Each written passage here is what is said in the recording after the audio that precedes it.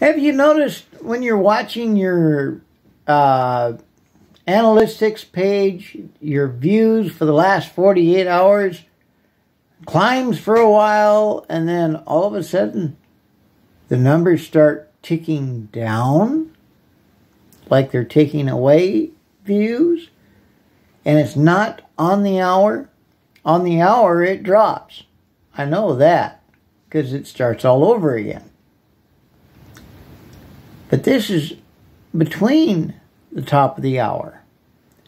I've watched uh, two counted views just disappear. That's on YouTube.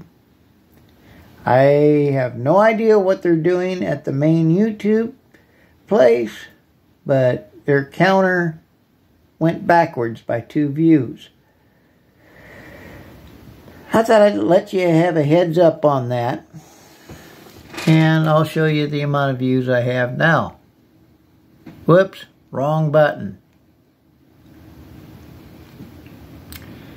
Okay, doesn't want to turn it around. Okay, never mind.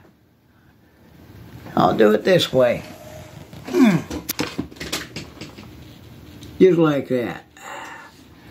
There's more than one way to skin a cat, by gum. Anyway, y'all have a good evening. I'll talk with you later. Like, share, and subscribe. Bye bye.